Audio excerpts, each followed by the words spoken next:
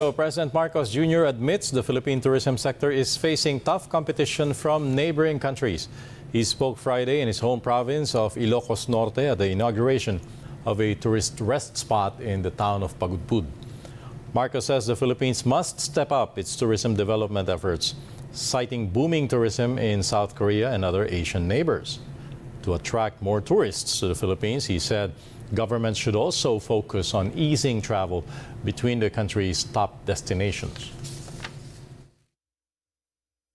Alam naman natin, Manila, Manila Airport is already very congested. So instead of having to go to Manila, they, to come to Pagudpud, they will have to go all the way to Manila, and then Manila all the way up to up to Ilocos Norte, for example, as an example. So, like in Cebu, that you already have this, uh, you already have that facility, eh, people can travel from abroad directly to Cebu. People can travel. We will make it so that people will travel from abroad directly to Laoag, directly to Bohol, directly to CDO, directly to Tacloban. Uh, all of these, all of these other places that we want to promote as tourist destinations. The Philippine Transportation Secretary urges PUV operators and drivers who failed to meet the April 30 franchise consolidation deadline to avail of government's livelihood programs. These include the two programs which provide free skills training and assessment, as well as entrepreneurship training. Secretary Jaime Bautista also said unconsolidated drivers and operators may join existing transport cooperatives to continue their livelihood. Government has begun apprehending unconsolidated PUVs as it goes full throttle on its PUV modernization program. Today is International Day Against Homophobia, Biphobia, and Transphobia. Here in Manila, the Asian Development Bank is leading commemorations for it. Willard Cheng now joins us on the line to tell us more about this event. Hi, Willard. What can you tell us?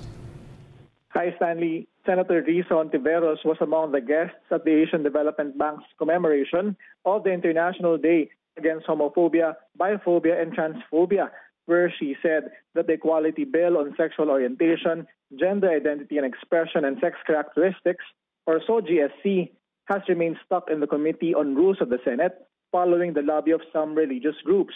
Hontiveros said the committee report already had gone out of the Senate Committee on Women, Children, Family Relations and Gender Equality in December 2022, with 19 out of 24 senators signing it, but was moved back to the Committee on Rules, where it has remained for more than a year now.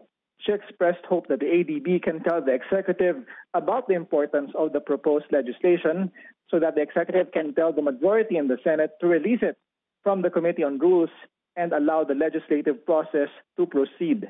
2018, Miss Universe Catriona Gray meantime stressed the importance of collaboration in pushing for gender equality.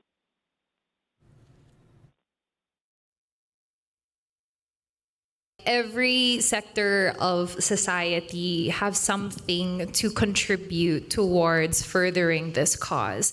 Um, and I feel very optimistic for the future generations to come because there is just such great strides that we're making. And more than ever, we are aware of the amount of change left to go.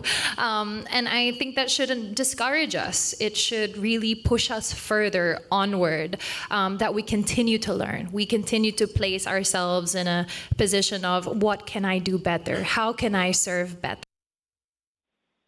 At the House of Representatives, a counterpart measure that prohibits discrimination on the basis of sexual orientation has been formally sponsored on the floor.